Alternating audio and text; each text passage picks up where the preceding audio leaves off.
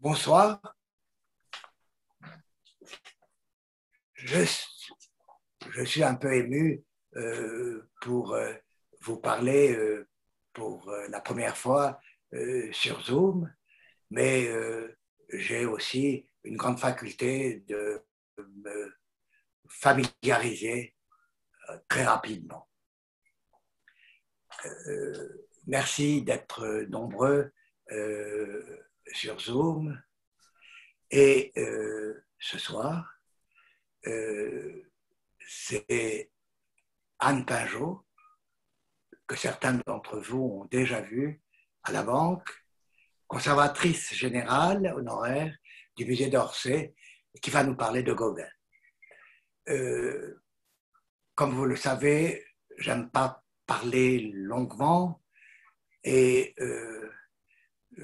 je laisserai euh, Anne Pinjot euh, avec euh, sa force et sa verve de vous parler de ce grand personnage, peintre, sculpteur, qui a fait des centaines de choses.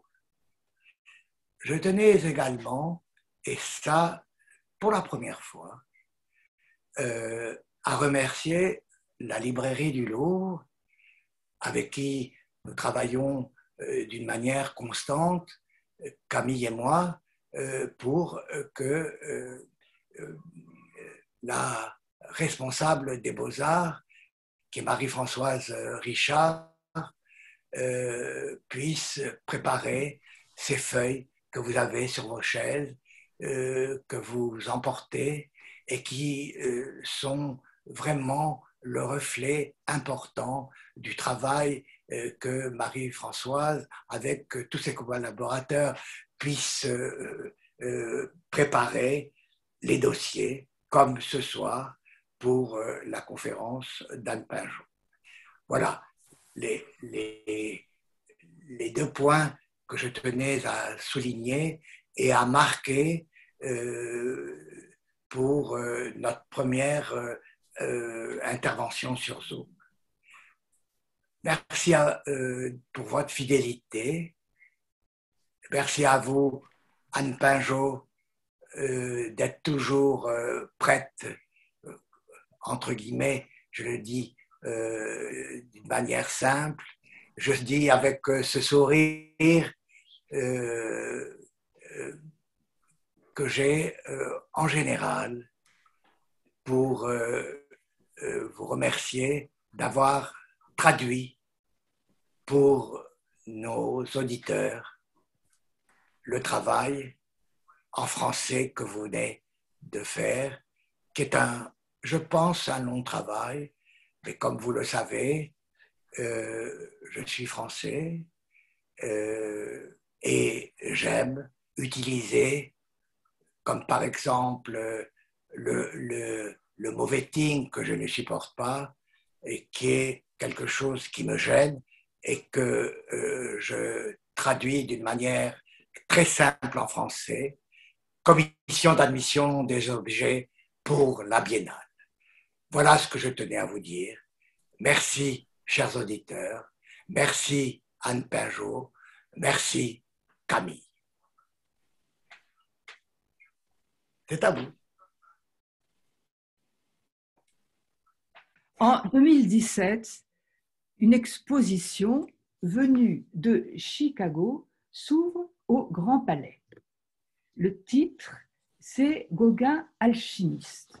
Alors, alchimiste, ça renvoie plutôt au Moyen Âge. Et là, je vais vous proposer de donner à Gauguin l'invention d'un genre que Marcel Duchamp a appelé le ready-made. C'est le créateur du concept qui illustre ces trois œuvres fameuses, La roue de bicyclette de 1913, Le porte-bouteille de 1914 et La fontaine de entre 13 et 17. Alors, est-ce que Marcel Duchamp serait devancé de plus d'un quart de siècle? Le premier pas chez Gauguin passe par les assemblages. En 1882, à la septième exposition dite impressionniste, il expose le portrait de son fils Clovis, qui a trois ans. Sur un ancien buste en noyer de récupération, il pose la tête, modelée en cire, il taille, vous le voyez, le prénom de Clovis en haut de la chemise et il fait le lien par la couleur entre les deux parties.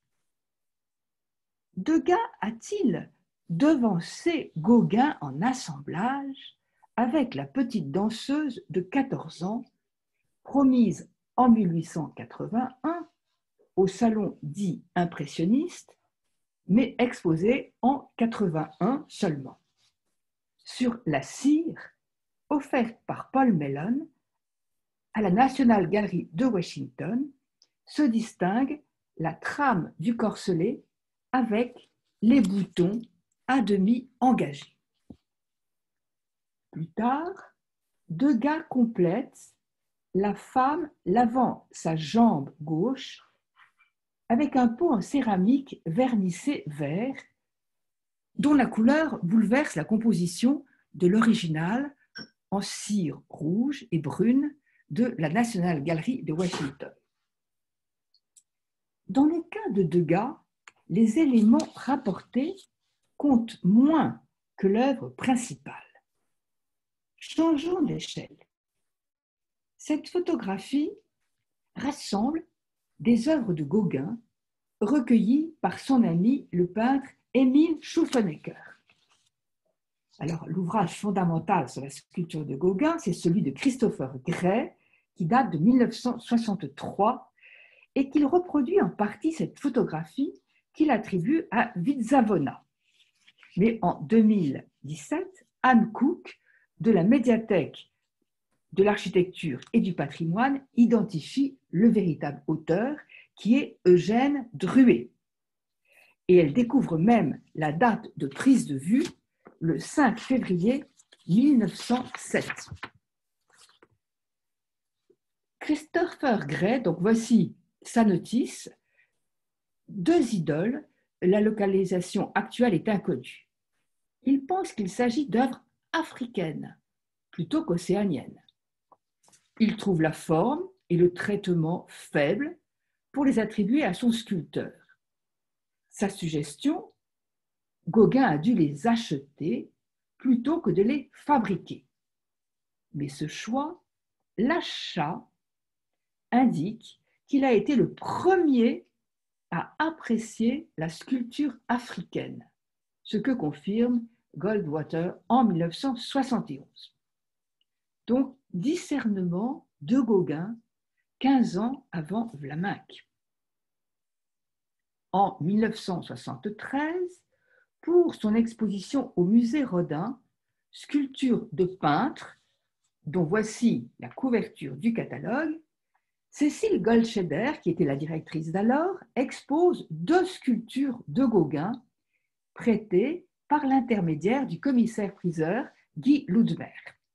Shiva debout, bas-relief en bois, c'est encore toujours le catalogue de Gray que je vous montre, et Gray raconte que rien ne suggère Gauguin qui ne connaît l'œuvre que par photographie, à l'exception de la signature PGO que vous voyez là. Gray pense que l'ouverture du musée Guimet en 1889 a pu être une source d'inspiration. Alors, je remercie le musée Rodin de m'avoir ouvert ses archives. C'était Catherine Chevillot qui était alors directrice, Hélène Pinet et Sandra Bougeot. Et ce relief est assuré pour 50 000 francs en étant francs en 1973. Il faut noter que sur la même feuille de près, une épreuve en bronze de Renoir, qui est une édition posthume d'un modelage de Guinaud, d'après un tableau de Renoir fondu par Rudier, est assurée pour 120 000 francs. Alors on est en 1973. C'est bien intéressant de voir le chemin parcouru sur la notion d'originalité de l'œuvre. Quant à l'idole, alors voici ce fameux Renoir. Ça, c'est Renoir entre guillemets. Quant à l'idole, c'est le numéro 82, il y a d'ailleurs une erreur d'appel de figure. Eh bien, cette statuette en bois, c'est petit, hein, qui mesure 21 cm de haut, signée sur la base PGO, donc cette ancienne collection de Émile Schuffenecker, est assurée pour 25 000 francs. Là, nous avons la feuille de prêt d'assurance. Marche arrière. En 2003, Jean-Louis Paudra, le grand spécialiste de l'art africain, révèle Gauguin s'approprie ce qui se révèle un, un art de foire. La grande statuette est taillée dans un bois de chêne. C'est l'analyse du professeur Didier Normand. Il s'agit donc d'une fabrication européenne. Et il propose dans son chapitre Présence africaine dans les ateliers d'artistes que des sculpteurs venus de la colonie du Gabon, du Gabon-Congo les aient taillés à Paris pour les vendre au village du Luango reconstitué sur l'esplanade des Invalides pendant l'exposition universelle de 1889, donc pas loin du café Volpi. Alors en visitant aux archives nationales Exotique Exposition, les expositions universelles et les cultures extra-européennes organisées par Christiane Demeulener d'Audière en 2010, je suis tombée sur cette photo justement de cases des sculpteurs du village gabonais Congo de l'exposition universelle de 89.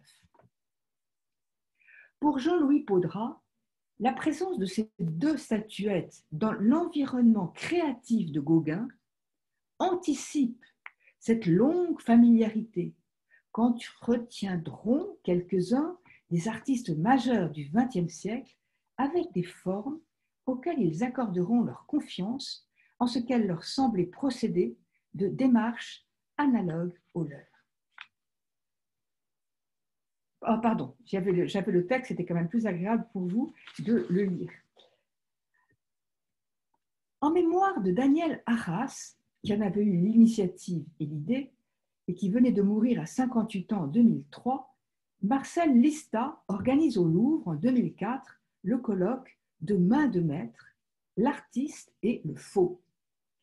Yves Le Fur, alors futur directeur du département du patrimoine des collections du futur musée du Quai Branly, y fait une communication décisive. Fausse catégorie, vraie œuvre d'art au regard des arts non occidentaux. Et il lance un point de vue sensationnel. L'authenticité est donnée par l'usage. Il illustre son propos notamment par ces deux statuettes, en citant Jean-Louis Paudra qui précisait Gauguin ajoute à l'une un ombilic en acre et à l'autre des yeux de poupée et des rehauts de couleur. Et il signe les deux. Jouvence sauvage recherchée avec des prolégomènes faux, ajoute Yves Le Fur. Poursuivant sa quête, son exposition de 2006 au musée du Quai Branly porte le titre D'un regard l'autre, histoire des regards européens sur l'Afrique, l'Amérique Dans son chapitre, le premier primitif Paul Gauguin, il présente la petite statuette qu'il a retrouvé à Hong Kong. Une seconde exposition accompagnée d'un regard l'autre, avec des textes de Christine Barthes et de Quentin Bajac. Elle était consacrée à la photographie au XIXe siècle et commencée par cet exergue Yves Le Fur. Ces photographies nous restituent ce que l'art désire du réel. Alors ces exemples sont-ils suffisants pour faire de Gauguin l'inventeur d'un type de ready-made? Lors de son dernier séjour en Océanie, Paul Gauguin découvre un objet qu'il fait sien, mais cette fois-ci sans imposer sa marque. puisqu'il ne s'en empare peut-être pas, sinon à travers la photographie. Près d'un siècle s'écoule entre la disparition de l'objet en question et sa réapparition en 1993 chez le marchand Wildenstein. N'avons pu éclairer son cheminement durant tout ce temps, même avec l'aide de Lise Desmas, conservatrice des sculptures du Getty, et de Laure de Margerie, directrice du répertoire de sculptures françaises qu'elle a créé aux États-Unis. Alors comment Gauguin a-t-il rencontré cette image? À son retour définitif en Océanie en 1895, Gauguin devient l'ami de Jules Agostini. Jules Agostini, que vous voyez là, est un Corse, chef de service des travaux publics des établissements français d'Océanie. Il est conducteur des ponts et chaussées et il est en poste en Océanie de 1894 à 98. Un célibataire, sans fortune, ça c'est son dossier qui nous dit ça, très bonne santé, susceptible et ombrageux, zélé, actif, tenue excellente, même très élégant, il serait disposé à s'immiscer dans la politique locale, ça s'appelait moins, ne paraît pas avoir été apprécié de tout point par le résident supérieur au Cambodge, probablement à raison de cette tendance. Donc ça, c'est dans son dossier que j'ai pu consulter aux archives nationales.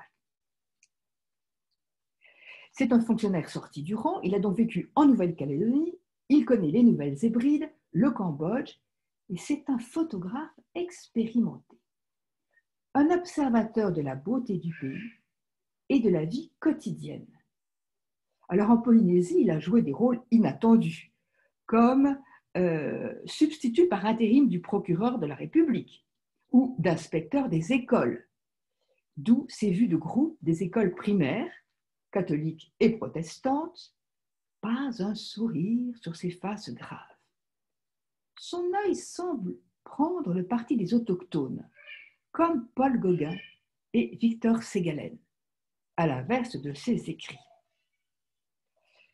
Dans ces légendes, Agostini relève les noms et les dates. Alors d'abord, il est parti le 13 octobre 1894 de France. Il traverse l'Atlantique, il arrive à New York, il va admirer la liberté de Bartholdi, il traverse les États-Unis en train, il arrive à San Francisco et de là, il part pour Tahiti. Pour le centenaire de la mort de Gauguin en 2003, Françoise Elbrun décrivait la tête à cornes, donc ce qui va être notre sujet, comme un curios, une statue en bois destinée aux touristes qui se trouvaient sur place lors de l'escale aux îles Marquises. Alors, qu'est-ce que c'est qu'un curios baleinier eh bien, alors oui, ça, donc notre sujet, c'est cette tête à cornes que vous voyez là, qui est collée dans cet album très important que vient d'acquérir le musée du Quai Branly. Alors, qu'est-ce que c'est qu'un curieux baleinier? Eh bien, depuis le 19e, les navires baleiniers sillonnant le Pacifique relâchent aux îles pour reposer l'équipage, se charger de vivres et d'eau, et les marins en profitent pour faire du troc. Fabrice Fourmanoir, un habitant du Haïné, l'une des îles sous le vent, rappela auprès des commissaires françaises son enquête à propos de cet objet. Et pour lui, cette tête à cornes, donc que nous, avons, que nous voyons là, euh, aurait été photographiée à la demande de Gauguin chez un colon aux îles sous le vent, et le colon que vous voyez à droite de la photo. Eh bien, la date de 1894, qui est ici sous la légende, si on peut l'attribuer aux deux photographies, eh bien c'est impossible, parce que Gauguin a quitté l'Océanie en juin 1893 et il n'y est revenu qu'en le 9 septembre 1895. Dans ce cas-là, Agostini a pu opérer seul. Mais quand Gauguin va-t-il découvrir les clichés de la tête à cornes Fin 1895, Agostini et Gauguin s'embarquent avec le commissaire général de la République, M. Chessé, l'ancien gouverneur et délégué de Tahiti au Conseil supérieur des colonies, parti pacifier, c'est-à-dire annexer, hein, les îles sous le vent. Et il y a aussi dans, dans tous les passagers un autre photographe qui s'appelle Henri Lemasson, qui était chef du service des postes à Tahiti. Et c'est Henri Lemasson qui a pris le 2 juin 1898 le célèbre cliché du tableau D'où venons-nous Que sommes-nous Où allons-nous dans la case de Gauguin. Alors, durant cette, cette, ce voyage qu'Agostini a montré à Gauguin ses photographies et qui lui a remis les deux épreuves que Gauguin allait coller dans Noah Noah. Alors, nous arrivons au cœur du sujet. Noah Noah, c'est ce, ce cahier qu'il va écrire et dédier à sa fille Aline et qu'il va illustrer. vous voyez sur une des pages, il va coller les deux photographies d'Agostini. La tête est tirée d'un gros bloc de bois de santal et pour M. Fourmanoir, le santal a quasiment disparu à l'époque de Gauguin en Polynésie. Et il souligne que l'achat d'une pièce importée aurait coûté une fortune. Et qu'elle s'inspirerait plutôt d'une idole totémique de la côte nord-américaine. Il suggère que Gauguin n'avait pas eu l'œuvre en main, car il l'aurait reproduite avec plus de liberté en l'introduisant dans ses dessins et ses gravures. Alors c'est une très fine remarque qu'avait déjà fait la danoise Meret Bodelsen. Alors, parce que non seulement il colle ses photos dans Noah Noah, mais il va se servir de cette tête pour des dessins comme celui-ci que vous voyez sur une des célèbres planches contact d'Eugène Druet. Là, la tête à cornes figure de face, mais nous la voyons aussi sur celle-là de trois quarts, de trois quarts inversé par rapport à la photographie. On s'intéresse au petit numéro 29-21. Euh, le 30-40, c'est un format sont conservés les négatifs et les archives Druet-Vizavona à la médiathèque de l'architecture et du patrimoine déjà nommé. Et là, je remercie Mathilde Falguière et Anne Cook de leur accueil au Fort Saint-Cyr à Saint-Quentin en Yvelines, où se trouve ce fonds, et aussi les petits carnets. Et dans les petits carnets de Druet, nous recherchons le numéro 29-21, seule inscription Gauguin dessin, qui est extrêmement frustrant puisqu'il était si facile de noter la date et le lieu. Alors Fabrice Manoir continue en disant La tête est posée sur un socle en bois de lacewood, un bois de dentelle, qui est un arbre absent de Polynésie. Il pourrait provenir d'Australie ou de Nouvelle-Guinée. Et Gauguin n'a jamais soclé une sculpture. Et ce socle est très moche, ajoute-t-il. Quant à l'iconographie, aucune divinité du panthéon polynésien n'a de cornes, puisque ce sont les Européens qui ont introduit les bovins dans les îles. Ah mais halte là, monsieur Fourmanoir Et le tiki exposé au Grand Palais n'a-t-il pas de cornes Et l'hypothèse de Karl von den Steinen sur les îles Marquises, cette coiffure avec deux cornes reproduits. Et rappelons que les cornes du père Bayard datent du XXe siècle. Meret Modelsen, donc cette euh, historique danoise, après avoir évoqué les masques à cornes japonais, associe la tête toujours sur photographie, parce que Meret Modelsen est morte avant que cette tête ne ressurgisse. Et donc elle le compare à un taureau à face humaine, tel Achelous combattue par Hercule dans la mythologie grecque. Elle reproduit dans son article du Burlington de 1967 cette terre cuite du Louvre qui sert de flacon à parfum au, au visage souriant et cornu de taureau. En 1898, Jules Agostini quitte la Polynésie avec ses photographies. Et donc, je vous l'ai dit, par chance, le musée du Quai Branly, Jacques Chirac, a pu acheter en 2015 un des deux albums. Et l'année suivante, Agostini publie chez Plomb L'Océanie française.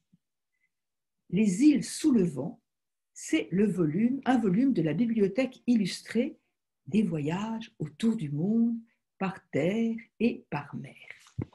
Et qu'est-ce qu'il va reproduire en cul de lampe? Eh bien, cette fameuse tête à cornes. Le graveur suit fidèlement la photographie, même pose axiale, même lumière, aux mêmes endroits. Et en 1905, dans un nouveau livre, Tahiti, édité chez André, eh bien, il reproduit également cette tête. Alors, nous arrivons en 2002.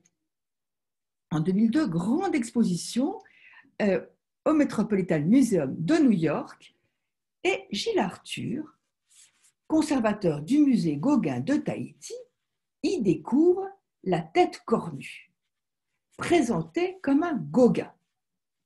Il dénonce le curios acheté à Rayatea il n'avait donc pas eu connaissance de l'exposition qui avait eu lieu cinq ans plus tôt à la Fondation Magde à Saint-Paul-de-Vence, la sculpture de peintre. La tête à cornes occupe la couverture du catalogue et le carton d'invitation.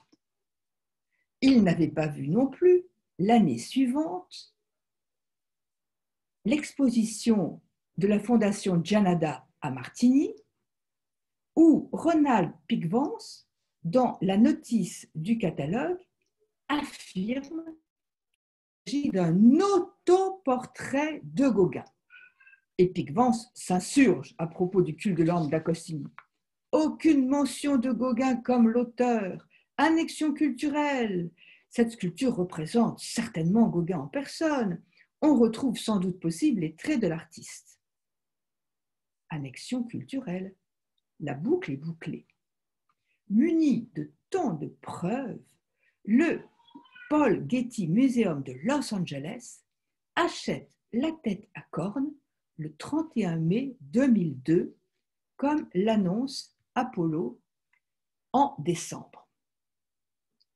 L'année suivante, en 2003, pour le centenaire de la mort de Gauguin, une exposition Gauguin, Tahiti, l'atelier des tropiques est organisé par les musées de Boston et d'Orsay. Et la légende d'Isabelle Kahn du folio, fameux folio de Noah Noah, est sans appel. Deux photographies, d'un curios, statue de production locale représentant un nio polynésien, tête de dieu cornu, acheté par Gauguin à Rayatea. Et donc, cette œuvre n'a pas été empruntée pour cette exposition du centenaire de la mort. Mais on peut se demander si non seulement Gauguin ne l'a pas acheté, mais s'il ne l'a jamais vu en vrai.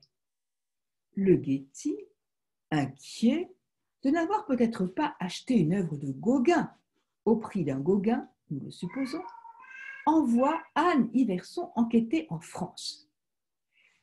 Dix ans plus tard, la démonstration de Gilles Arthur, de Fabrice Fourmanoir, du musée d'Orsay ne semble pas avoir convaincu tout le monde.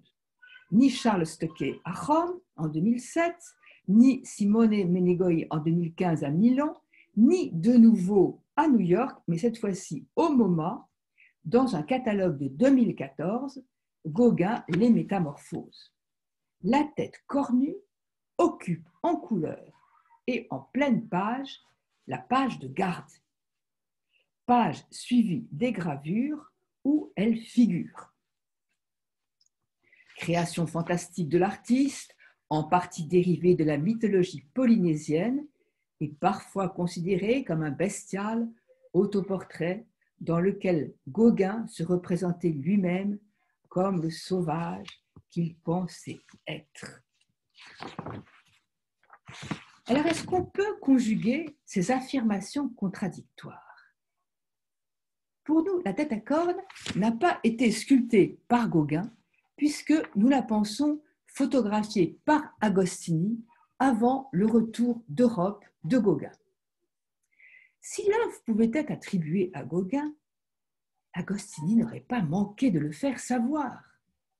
En publiant la photographie de la, case de Gauguin à Puna Ouya, il vantait son amour, amour qu'il partageait, pour la nature prodigue de cette île inoubliable, en décrivant sa rencontre. Tout à côté, près du rivage, une statue et des chimères sculptées sur bois précèdent une case au toit de chaume où, nouveau Robinson, un artiste est venu chercher le repos. Monsieur Paul Gauguin, le peintre impressionniste bien connu, a fui pour la seconde fois la sentine parisienne pour se réfugier au sein de la primitive nature. Le costume du reclus est de la plus sobre simplicité. Un tricot avec un haut qui bataille le couvre jusqu'à la cheville, c'est tout. Les murs du petit salon et de l'atelier sont tapissés de toiles qui n'ont rien de classique, rien de convenu, où le maître paraît avoir enfermé, sans en omettre un seul détail, toutes les beautés qu'une nature prodigue a semées sous le ciel radieux de cette île inoubliable. L'ermite aime passionnément son coin de terre. Il y a fixé sa vie et compte y jouir à la fin de sa carrière du repos éternel. Gauguin dénigrait les techniques de reproduction. Savez-vous ce qui sera le comble de la vérité bientôt? C'est la photographie, quand elle rendra les couleurs, ce qui ne tardera pas. Et vous voudriez qu'un homme intelligent sua pendant des mois pour donner l'illusion de faire aussi bien qu'une ingénieuse petite machine? En sculpture, c'est la même chose. On arrive à faire des moulages parfaits sur nature. Un mouleur adroit vous fera comme ça une statue de Falguière quand vous le voudrez. Cette reproduction, issue de la machine, peut en revanche devenir une œuvre si l'artiste s'en empare et lui assigne une place dans sa création, s'il l'utilise comme un matériau de base.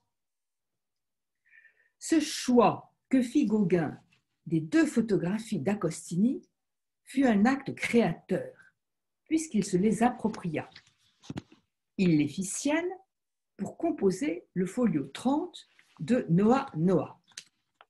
Et ayant absorbé ces formes, il les dessina dans les monotypes, il les grava sur bois, révélant l'importance considérable qu'il attachait à cette tête. Dans l'échelle de l'appropriation créatrice, il n'y eut pas de limite pour Gauguin. Nous l'avons vu dès le début avec les statuettes africaines en 1895, il déclarait En art, il n'y a que révolutionnaire ou plagiaire. N'est-ce pas une révolution que de s'emparer des créations d'autrui pour les faire siennes des années avant Marcel Duchamp? Et il affirme à Emmanuel Bibesco Je sens qu'en art, j'ai raison.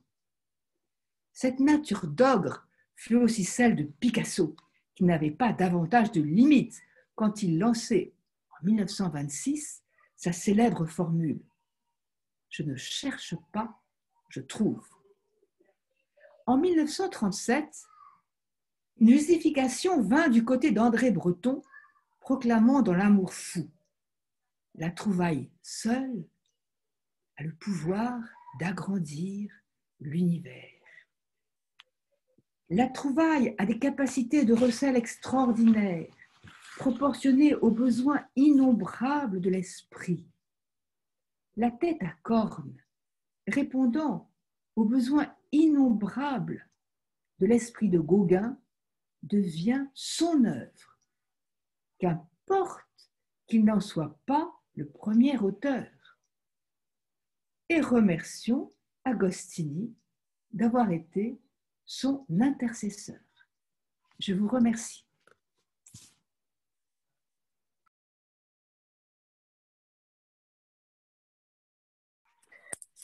Vous avez un message de félicitations de Véronique euh, Gérard Poel qui vous remercie pour cette Ah. conférence passionnante. C'est très gentil. Et moi, je la salue. Euh, Ça me délaisse, ça me fait très plaisir de la voir. Très touchée qu'elle soit là. L'avantage de la conférence via Zoom permet que des gens fort lointains puissent être présents. Alors, je peux vous montrer, les- c'était, la- c'était les archives nationales, le dossier d'Agostini. C'est surtout ça qui était nouveau pour, euh, pour euh, l'article pour le, le journal de recherche du Getty. C'est parce que ce dossier n'avait pas été exploité avant. Fort intéressant.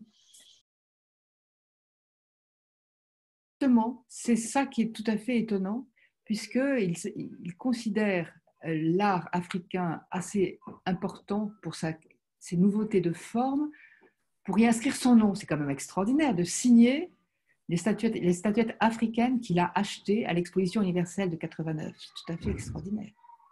Il est précurseur en tout. Je, je n'arrive pas à envoyer le message écrit. J'aurais une question. D'abord, je voudrais remercier Madame Pinchot de, son très belle, euh, de sa très belle communication.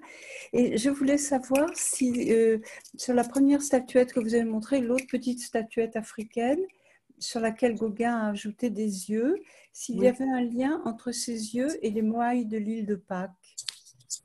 Ah, ça serait fort intéressant, ça. Mais, c'est- mais à l'époque, euh, il n'avait peut-être pas, il n'avait pas encore quitté la France. hein. Quand il a rajouté les yeux, il était encore, enfin, il n'avait pas, dire, il n'était pas encore allé en Océanie. Mais est-ce qu'il connaissait les statues? Est-ce qu'il avait, oui, est-ce qu'il connaissait déjà les yeux des moailles Qu'est-ce qu'il pouvait connaître? Qu'est-ce que- qu'est-ce que- Oui, comme vous connaissez vous, est-ce que qu'est-ce qu'il pouvait connaître en France? Oui. Qu'est-ce qui était arrivé? Hmm. Qu'est-ce qu'on pouvait savoir? Donc, il faudrait demander euh, au musée du Quai Branly, euh, Jacques Chirac, parce que ça, c'est n'est pas du tout mon domaine. Mais qu'est-ce qu'on pouvait savoir à l'époque de cela? Hmm? Hmm? Et, Mais c'est intéressant, hein, vous devriez faire la recherche. Merci. Mais oui, on avance comme ça? Ben oui, oui, oui, je sais bien. Donc on a appris des tas de choses. Merci beaucoup. Merci. Du coup, euh, est-ce que vous avez pu, Madame Pinjot, aller sur les traces de Gauguin, en fait, pour voir comment la jeunesse de l'œuvre- en fait, sur euh, à Tahiti, en fait? Non, non, je ne suis jamais allée. Non, non. D'accord. Ah, prochain voyage alors, Et j'espère. vous? Et vous? Non, non, non, mais j'ai eu beaucoup d'échos de personnes qui voulaient vivre là-bas et qui sont en- allées sur place. Et c'est vrai qu'on, je pense qu'il y a vraiment une, comment, une proximité avec la nature et qui est réelle et qu'on voit dans l'œuvre de Gauguin, quoi, en fait. Hmm. Mais euh, Claire Fraîche, qui était commissaire de l'exposition du, pour le centenaire de la mort, elle est allée, elle dit que le ciel était toujours gris là-bas. Que- Euh, alors, les personnes qui sont allées euh, n'ont pas parlé les échos très proches. Euh, je pense que c'est comme dans toutes les îles. Souvent, il est assez gris, il fait chaud, mais il, est gris. Mais par contre, c'est l'omniprésence de la nature et de la mer qui les a vraiment frappés. Mm. Et, euh, et c'est vraiment la, la nature luxuriante et euh, voilà, du coup, et les œuvres primitives aussi. Quoi. Donc, euh, Mm. mais voilà. Mais- j'espère que ça sera un prochain voyage quand on pourra les faire. Ah, espérons. Juste une question, madame. Merci de votre Merci, intervention. En fait, Gauguin, il était aux îles Marquises, non? Il n'était pas à Tahiti? Le premier voyage, il était à Tahiti. Et Ah oui, il est revenu en France. D'ailleurs, c'est très, c'est assez émouvant parce que quand il va rentrer, euh, euh, quand il va repartir, donc il rentre en France. En France, il essaye. Il y a une, il y a une- une exposition, il y a une grande vente, mais ça, ça, ça ne, ça ne marche pas comme il l'espérait. Et donc, il repart définitivement. Et après, de Tahiti, il va aller au Marquis, beaucoup, beaucoup plus loin, hein, pour chercher Ah oui, c'est beaucoup plus loin. plus primitif, quelque chose de, de- de- loin de la civilisation, ce qui c'était malheureusement un leurre, hein, parce que euh, tout avait déjà été très, très abîmé par nous, les Européens. Et, euh, et, et, et, il va mourir là-bas, aux Marquises. Oui, oui, oui moi j'ai vu sa tombe aux Marquises. Ah bah, c'est bien. Donc vous, vous avez fait le voyage. Alors est-ce que, voilà. le toujours gris? Question. Euh, c'est très très pluvieux et la nature est extrêmement verdoyante. C'est extraordinaire. Les plages sont grises, donc sont des plages volcaniques. Donc vous avez une opposition d'une nature flamboyante, mais c'est absolument faramineux comme paysage. Et vous avez des, des coqs et des chevaux en liberté, donc à l'état sauvage, un paysage absolument fabuleux. Et j'ai reconnu effectivement le style de statue qui, que les locaux vendent aux touristes. Ces statues, mm. cette statue-là que vous avez montrée, c'est tout mm. à fait ce qui est encore fabriqué par les, les locaux euh, aux îles Marquises. Hein. Mm. Mais c'est loin, hein, Tahiti, c'est au moins 1000 km. Hein. C'est très très loin. Moi, je me souviens, on avait fait un, séjour là-bas, mais c'est fabuleux. Fabuleux. Victor Ségalen, le grand écrivain qui était marin, un médecin de la marine, malheureusement, il est arrivé aux Marquises trois mois après la mort de Gauguin. Mais il a eu l'idée admirable de prendre des œuvres, de les, rapporter en France. Et, tous les carnets, tous les écrits. Enfin, sans, euh, sans Ségalen, je ne sais pas ce qu'on aurait pu récupérer. Oui, parce qu'on n'imagine pas euh, le, degré, enfin, d'éloignement des marquises. C'est extrêmement loin, il faut ce 1000 km. Donc, euh, à l'époque, ça devait prendre un certain temps et demander des sacrées précautions pour faire voyager effectivement des manuscrits ou des œuvres. En tous les cas, merci, madame, de cette belle intervention. Merci beaucoup.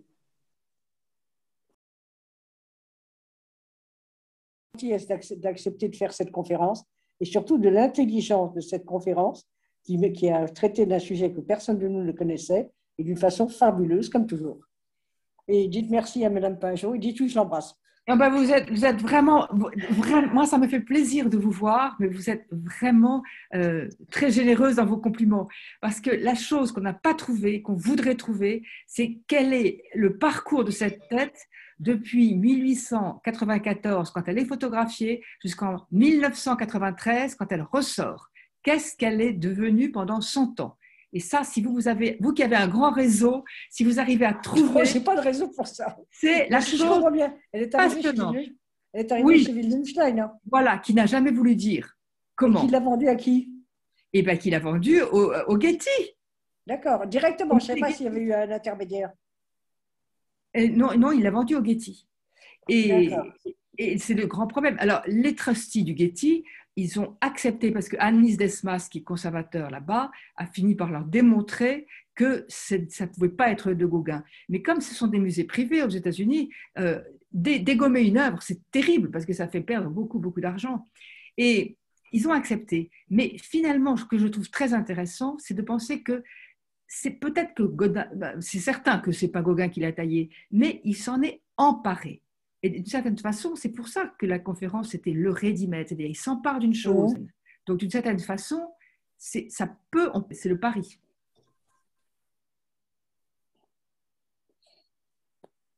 On continue la quête. la vie de cette œuvre pendant 100 ans intéresse beaucoup de gens. Bien Merci. Sûr. Merci infiniment.